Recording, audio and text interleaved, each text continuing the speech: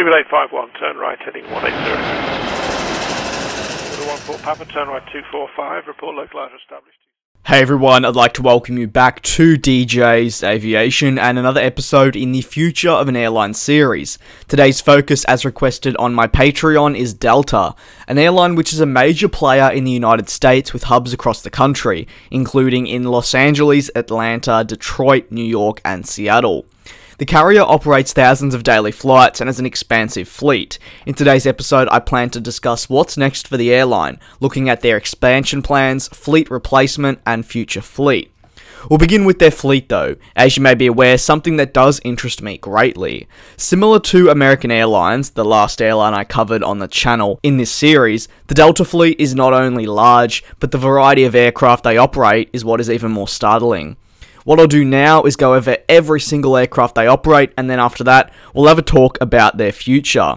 The airline operates one A220-100 which was delivered in recent days to them. They fly the A319-100 and have over 50 at their disposal. Continuing on, the A320 family is popular with both the A320-200 and the A321-200 featuring.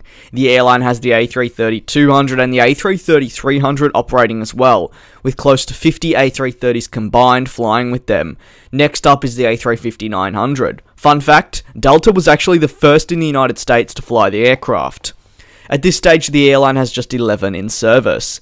They operate a number of Boeing aircraft as well, highlighting how they are a carrier which certainly doesn't stick to just one manufacturer. Their fleet of Boeing aircraft includes the 717-200, 737-700, 737-800, 737-900ER. Moving on to larger aircraft, next on their list is both the 757-200 and the 757-300. They actually have over 100 200s in their fleet and are therefore the largest operator of that variant. The 767-300 features in their fleet, but they have very few. The Dash 300ER variant is by far the more popular with 50 plus. They also operate the longer 767-400ER. Their final two Boeing aircraft are the 777-200ER and the 777-200LR. They operate around 150 McDonnell Douglas aircraft, with the MD-88 and the MD-90 finally featuring.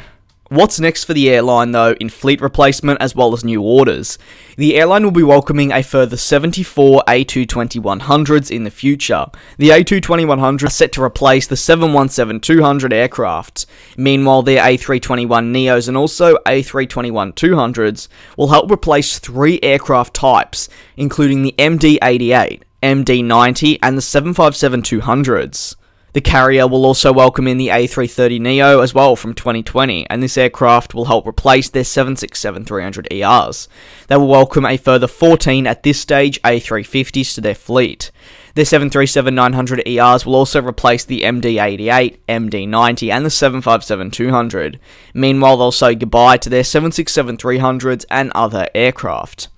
Delta is undergoing a major streamline, and similar to other American carriers, they've realised that while this sort of extensive fleet was beneficial decades ago, now aircraft are purposely built to do things that, say, four aircraft types could from 40 years ago. This results in airlines having less aircraft types but ordering more aircraft overall. Examples of this include the A321neo and the A220-100 within Delta's fleet. These various orders do have options available to the airline should they wish to activate them. For instance, there are some 50 additional options for the A220-100 and this is on top of their original order for 75.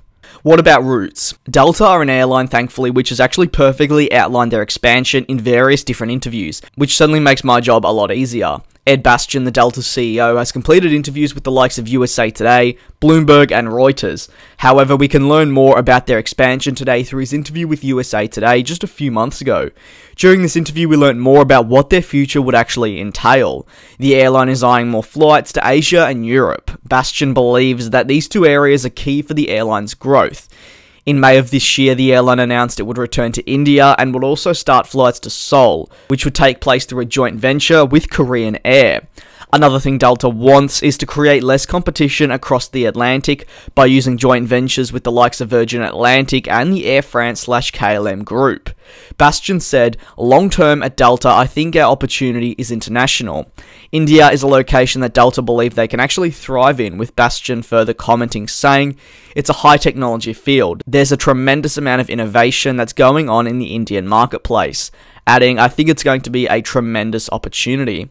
In addition, these joint ventures will benefit the airline with their Seoul route with Korean Air, resulting in passengers being able to transfer onto different routes throughout Asia. Bastian commented on this to the USA Today, saying, As we bring customers to Seoul, Korean can distribute them on a non stop basis to 80 different destinations, including 30 destinations in China alone, with one of the most efficient hubs in the world.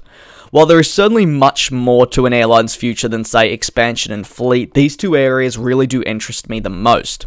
What are your thoughts on Delta? Let me know in the comment section below, as always. Also, feel free to drop an airline you'd like me to cover in the comment section below. I'd like to thank you very much for tuning into this video of mine, and I do very much look forward